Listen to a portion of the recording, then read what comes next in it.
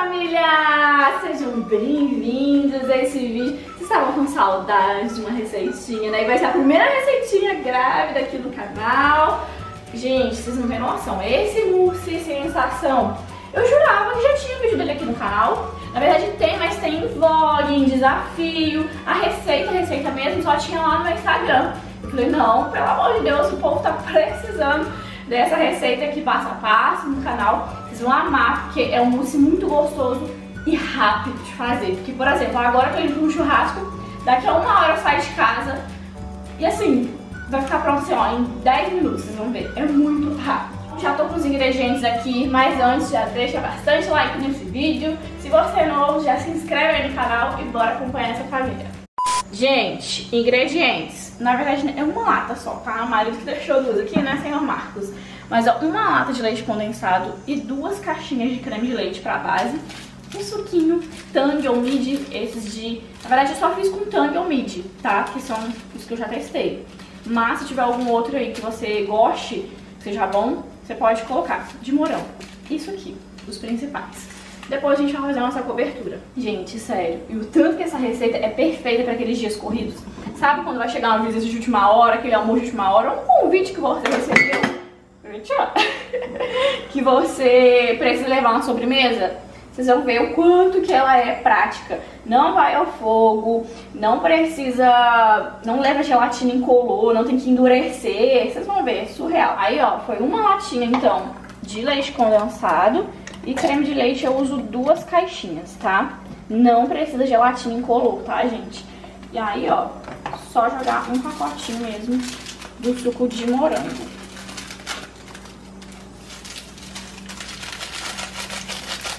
E aí é só bater por um minutinho.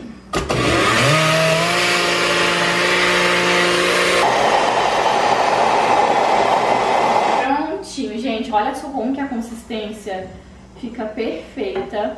Chega de pertinho, Marcos. Sem precisar de gelatina, sem nada. Olha que perfeito. Aí, só colocar aqui, ó, na travessa, né, no recipiente de vocês. E cheiroso, hein? E bonita a cor. E aí, gente, ó, esses ingredientes aqui é a medida de uma receita, tá? Como nós somos poucos, né, nós somos seis, dá tranquilamente, né, nem, nem todos nós é, dos seis comem doce, enfim. Então fica perfeito, rende mais ou menos aí cinco pessoas à vontade, né, tipo, comendo à vontade. E, dá aí, pra fazer de outro sabor, no sem morango? Tipo assim, então, você pegar um mid de maracujá.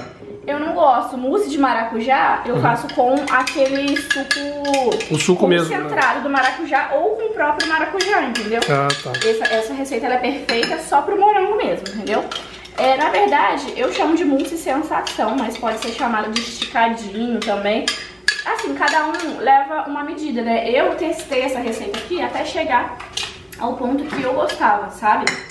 Porque tem gente que faz com um creme de leite só. Eu não gosto, já acho que fica enjoativa. Então eu testei ela com dois cremes de leite, duas caixinhas. E pra mim é o ideal, sabe? Ela fica docinha, fica gostosa e não fica enjoativa. E aí, como eu tava dizendo, vocês podem dobrar a receita se for pra uma quantidade maior de pessoas, tá vendo? Essa aqui, ó, é um tamanho legal pra esse tamanho de, de marinetes aqui, né? Esse tamanho de recipiente, ó. Fica certinho, porque agora a gente ainda vai fazer a nossa cobertura, né? Vou fazer uma ganache aqui com vocês. A minha ganache não é ganache que parece mingau de maisena de cremogêneo de chocolate, não. A gente vai precisar de duas barras de chocolate e meia caixinha só de creme de leite. Tem gente que pra uma barra de chocolate coloca uma caixinha inteira de creme de leite. Não fica bom, fica parecendo um mingauzinho de chocolate. Assim fica parecendo uma casquinha mesmo, né? Uma ah, casca. Não, fica muito, muito top. E aí o que eu vou fazer? Eu vou colocar uma barra ao leite e outra barra meio amargo. Ah, Marta, posso colocar duas ao leite? Não aconselho, porque daí fica muito doce e enjoativo. Posso colocar duas meia amargo? Sim, perfeito, amo. Hoje eu vou fazer essa misturinha do ao leite com meio amargo, que também fica bom pra quem não gosta tanto do meio amargo. Mas duas ao leite não é legal, duas meio amargo sim. Aí pode derreter ou em banho-maria ou no micro-ondas mesmo. Eu acho mais prático no micro-ondas. Micro-ondas é de um em um minuto, tá, gente? Pra não queimar o chocolate, ó. Então eu coloquei, aí derreteu mais os de baixo, aí a gente vai vir aqui, mistura e volta mais um minuto. Isso porque eu coloquei duas barras. Se for menos, tem que ser de 30 em 30 segundos e inclusive depende da potência do micro-ondas de vocês. Chocolate 90% derretido, tá, gente? Ainda tem uns leves pedacinhos aqui, mas com o próprio... Pra própria temperatura que ele tá quente aqui, ele vai derretendo sozinho. Aí a gente já pode vir com a meia caixinha de creme de leite, tá? Mexe, mexe, mexe. E aí vocês vão ver o ponto que eu gosto dessa ganache. E que também é o ponto que combina com essa mousse. Pronto, gente. Esse sim é o ponto da ganache. Olha isso. Essa é a verdadeira ganache. Super encorpada.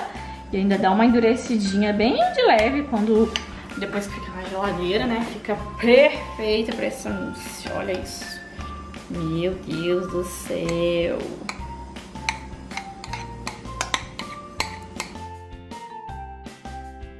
Raspa tudo aqui, meu, sem desperdício. Não faltar, né? Que nosso precioso aqui, o toque final do mousse. Ó, gente. E aí espalha. Bem de levinho. Pra não misturar, né? Não vai misturar porque vocês estão vendo como que fica encorpado, né? A parte do morango, ó. Do mousse. Ela já tá durinha, tipo, nem foi pra geladeira ainda. E já tá num ponto bom, né? Olha que belezinha, gente, fica tão bonito. Olha como é que tá firme já. E aí, quantas horas seriam necessárias pra ficar na geladeira até comer? Duas horas já é o suficiente. Se quiser deixar quatro, quiser deixar mais, não tem problema. Mas no mínimo de duas horas já tá perfeito, que vai ficar bem geladinho, bem gostosinho, tá?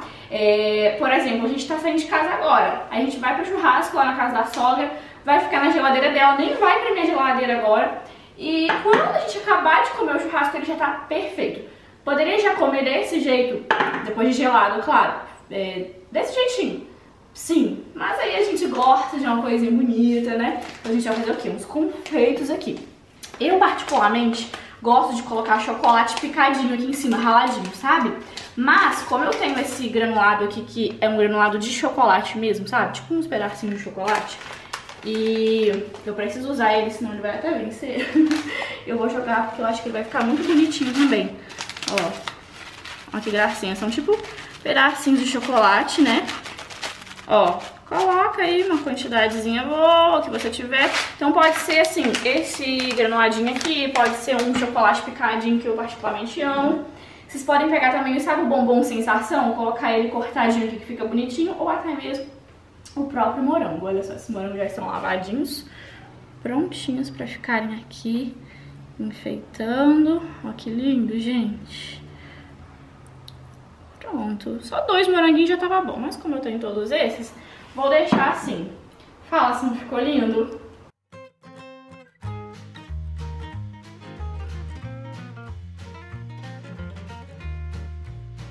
Galera, então espero que vocês tenham gostado dessa receita, dessa sobremesa maravilhosa. Se vocês fizerem, marca a gente lá no Instagram, que a gente ama repostar. Eu tenho certeza que vai ser sucesso aí no almoço, no churrasco, na visita de vocês. E agora, fiquem com as imagens dele sendo servido. Um beijão e até o próximo vídeo.